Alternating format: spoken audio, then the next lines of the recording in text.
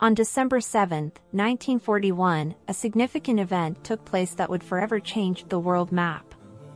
At U.S. Navy base, an unexpected disaster was about to occur, catching everyone off guard. Doris Miller, an African-American chef on a battleship, started his day by serving breakfast to Navy officers. Afterward, he began working on collecting the laundry. At 7 o'clock in the morning, Doris heard a siren that no sailor wants to hear during their service. He immediately came out and was astonished to see the sky filled with Japanese bomber aircraft. In an instant, the entire naval base appeared to be in ruins, as the Japanese aircraft specifically targeted and destroyed American ships.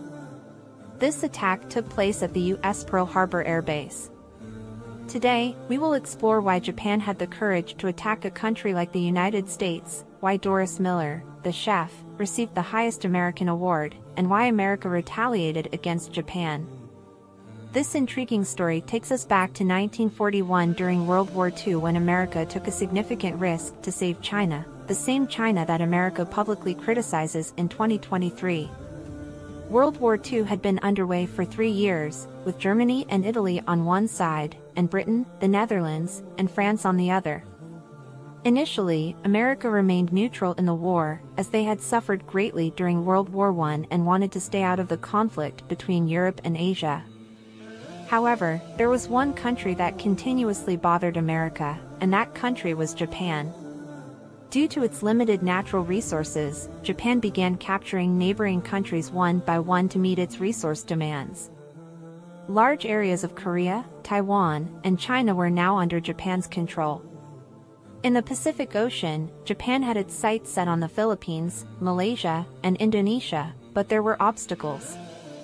Malaysia was a British colony, Indonesia belonged to the Netherlands, and the Philippines were a neutral territory under U.S. influence.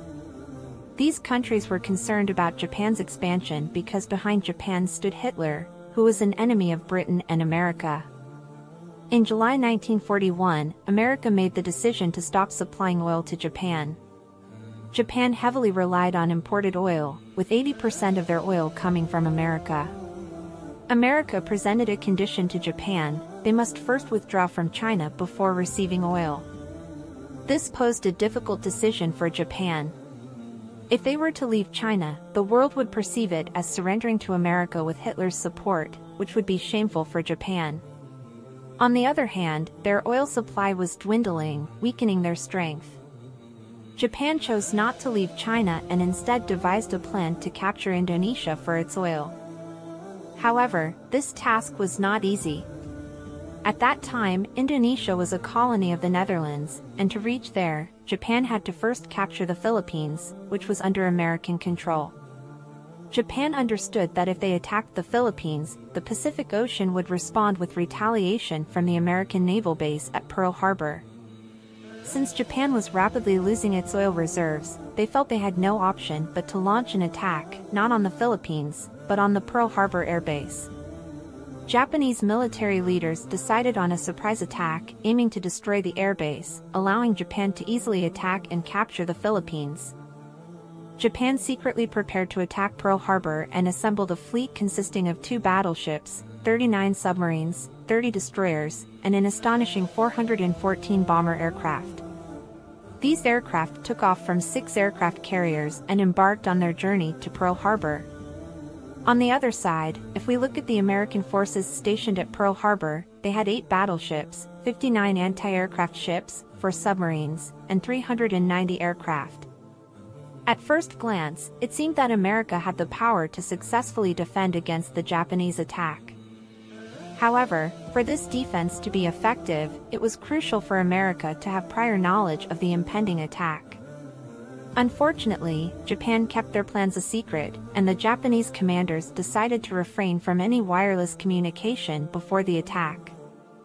The Japanese forces had covered a distance of 8,000 kilometers and were now only 370 kilometers away from Pearl Harbor. This was the critical point from which the aircraft would take off to launch the attack. It was poised to be the largest attack of World War II, and up until now, America had not been directly involved in the war. On the morning of December 7, 1941, at 7.57 a.m., 350 Japanese aircraft attacked Pearl Harbor in two separate groups. The Americans, who were unaware of this attack, were bombarded by the Japanese aircraft dropping bombs from the sky like rain. The attack continued for 45 minutes before the first group of bombers retreated. Initially, it was believed that the attack had ended, but after 10 minutes, another group of bomber aircraft arrived and destroyed the remaining naval base with more bombs. This continuous attack lasted for 1 hour and 15 minutes, during which Japan had the upper hand in every aspect. As a result, the United States lost 20 vessels, 8 battleships, and over 300 planes. The earth was filled with fire, and the sky was covered with dark, smoky clouds. Among those present during the attack was Doris Miller, the African-American chef we mentioned at the beginning. While collecting laundry, Doris heard a siren. He wanted to go outside, but before he could, a Japanese torpedo hit their ship, injuring many officers, including the ship captain. Doris acted bravely by moving the injured to a safe location. He then went to an anti-aircraft machine gun and began attacking the Japanese aircraft. Despite having no training, he managed to destroy six Japanese bomber aircraft. Japan, on the other hand, lost a total of 29 aircraft. Doris Miller, the first African American, received the Navy Cross, which is the U.S. Navy's biggest award and the second highest after the Medal of Honor. The Japanese aircraft returned after 1 hour and 15 minutes of attack, but their actions pushed America into World War II. Prior to this attack, America had not been involved in the war.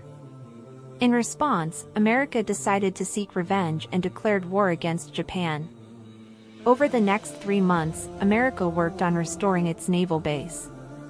Surprisingly, most of the damaged ships were in shallow water and could be repaired.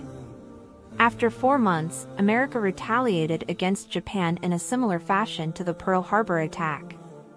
In April 1942, America dropped tons of bombs on the Japanese capital, Tokyo. This marked America's first attack in World War II, but they did not stop there. For the next four years, America and Japan engaged in a dangerous war, with America gaining the upper hand. Japan grew weaker throughout the conflict but refused to surrender to the Americans at any cost. In late August 1945, America played its final card against Japan. On August 6, 1945, at 8 o'clock in the morning, a Boeing B-29 Superfortress aircraft was spotted above Hiroshima, Japan. This aircraft dropped the Little Boy bomb, weighing 4,400 kilograms, on Hiroshima. After exactly 43 seconds, a massive explosion occurred, turning everything white. A fireball shot up from the ground, reaching the sky and raising the Earth's temperature to 5,000 degrees Celsius. This marked the first nuclear attack in history, which instantly destroyed over 80% of the buildings in Hiroshima. Japanese military leaders were shocked by this attack, but their shock intensified three days later, on August 9, when America dropped a nuclear bomb on the Japanese city of Nagasaki. This bomb, known as Fat Man, weighed 4,670 kilograms and erased the entire city from the face of the Earth. These were the first and last nuclear bombs to be used on humans. It is estimated that the attacks on Hiroshima and Nagasaki resulted in the deaths of 260,000 people. The following week, Japan surrendered to America, and with that, World War II came to an end.